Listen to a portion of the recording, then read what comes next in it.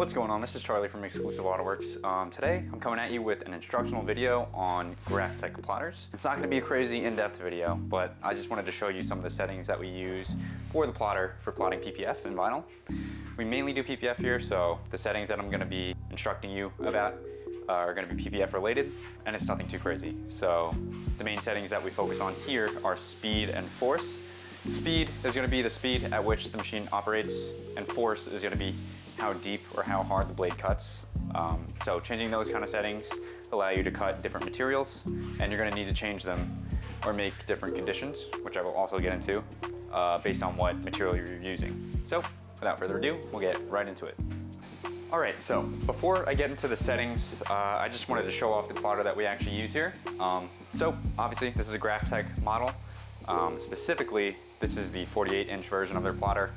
Uh, I'm not sure what the exact model is, but this is the 40 inch, 48 inch, like I said. Uh, basically, that means that the max roll or sized roll you can use in this plotter is a 48 inch roll. Um, so with that said, that means for this one, we can't use 60 inch rolls, which is the standard size for most vinyl and PPF uh, rolls. So we can't use those here, but again, for those films, you're pretty much only gonna be cutting hoods and quarter panels, which are panels that are bigger than uh, 48 inches. Uh, we bulk those here, so we don't need to be plotting them. So that's why we went with the 48 inch. So yeah, I'm gonna just also show you some of the basic parts of this plotter. You have an on-off switch right over here on the left side. You can see, oh, right over here. On the left side, um, nothing crazy, just your standard on-off switch. You have your interface here with the buttons that used are used to change the settings. Um, you also have three grit rollers here so this is what moves the film forward and backwards. And then this cutter here goes side to side. Uh, and when these two work in tandem, it is able to cut any kind of pattern that you have on your software. A good tip to know is that you don't need to use all three as long as the left roller is in standby. And what that is, I'm gonna turn this a little bit. All standby is, is just letting the plotter know that from here on out, this roller is not being used. Other than that, if the plotter was not in standby, or not the plotter, the roller was not in standby, uh, it is gonna only be able to plot within the three rollers. So right now I have it in its pretty much widest position. This is 42 inches, even though this is a 48 inch roller. 42 inches is the max width for these rollers. Um, and then from there, it goes to 36, 30, 24, 18, 12, and then 6. Um, so for most plots, you're going to be using a 36 inch roll, 30 inch roll, uh, or 48. So you're going to be using mainly these three, I would say. Um, you could be using just two rollers over here in the smaller section if you're using a very small piece of vinyl. Um, but it is important to know that whatever you are plotting, it has to be inside the three rollers. All right, and then here to the cutting part of the plotter. Um, it's very simple. It's a belt-driven assembly, so this white part is a belt. There's nothing much to it. The only thing you really need to know is that you can swap and adjust the blade height using this knob here. So going counterclockwise loosens the actual blade assembly. So you can see right at the bottom there is the actual blade, the tip of the blade. And you could also change the height of it by turning this part up top either clockwise or counterclockwise. So clockwise is gonna make the blade extend, so you can see it just went a little lower, and counterclockwise will make it retract. So this is kind of like a manual, physical, fail-safe way of adjusting the force or the uh, depth that the blade is actually gonna be going down. All right, so that is the cutting part of the plotter. Now we're gonna move on to the interface, which is where all the settings are. All right, so this is the main interface. Um, all you need to know, there's a screen here, you have your buttons, and then you have two users. So you have your indicator light here, and that's gonna tell you which user you're on. Uh, this does say user one and user two, but we put stickers here to indicate PPF and tint to not confuse the two um, because we do PPF and tint here, and this plotter could do both. So this is gonna be your main menu screen. This is most likely what you're gonna see when you first turn on the plotter. You have a few options here. One is select user. Um, that's literally just a change between the two users up here. These two, view and home, aren't really important, but condition here is the one that we use the most. Uh, this is where you're gonna be changing your settings.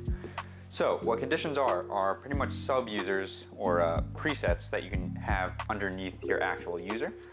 So you're gonna have 16 total between the two users, so eight each. So PPF here is gonna have eight conditions and Tint is gonna have eight. So to access the condition menu, you're gonna hold enter. It says E here right next to condition number, so that's enter. You hold E and you can see one, two, three, four, five, six, seven, eight. Uh, right now we're on three, and to change between the conditions, you can just press the corresponding icon next to it. So one, two, three, four is on the left side. One, two, three, four. For numbers five through eight, you just need to use the directional arrow keys. So up would be five, dip down is six, left is seven, and right is eight. And then zero is reset, so that reset all the presets that you have already, all the settings. Um, so don't touch that unless you plan on actually resetting everything. So we're gonna go back to three. So you can see up here it says condition number three. That just allows you to see to make sure uh, you know what condition you're on. And if I hit condition here, this is where we could actually change the settings of the condition. Again, it says condition number three here. Um, you have your speed and your force. These are the main ones that you're gonna be using. Tool, you don't really need to worry about. I'm not 100% sure what that even means or why you need to change it. Um, I left it as it was from the factory and it's been working fine. So speed, again, is gonna be how fast the machine operates. I found that 15 centimeters per second is the sweet spot for me. Um, anything above that was too fast and anything below was too slow. You can see by hitting three, the speed settings. So right now I'm on 15. If I go down, it goes down to 10. If I go up, back to 15, up one more, back to 20. Uh, anything above 10 goes in increments of five, just because if you're going fast, you don't really need to fine tune it. And then anything below 10 goes in increments of one. So I'm gonna put it back to 15. And once you're at the number that you want, you just hit enter to set it. So enter, and now that's set. Four is force. Force, again, is how hard that the blade is gonna be pushing down on the film. This is a good setting to know because there are a lot of different brands of PPF or vinyl, and they each have their own unique thickness. And you need to change your blade force depending on which material you're using. That is also why conditions are good because you could have uh, up to eight conditions with different forces. So that means you could potentially have up to eight different films that you could use it at the same time.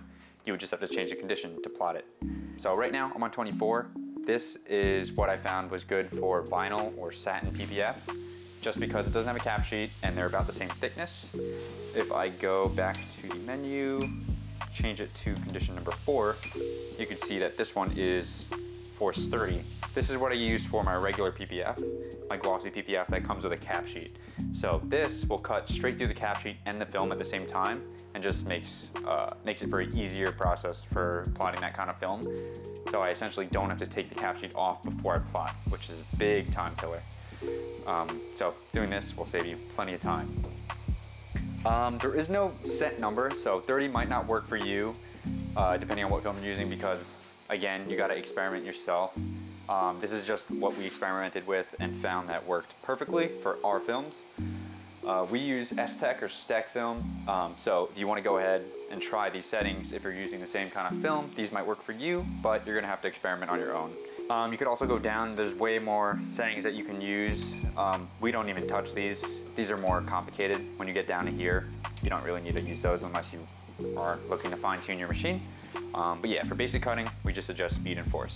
So that is gonna be the end of this video. I hope you enjoyed. Um, I really do hope it was helpful because I know these are very tricky machines to work with. So if this was helpful, please leave us a like. Uh, we greatly appreciate it. That being said, I'll catch you in the next video. Later.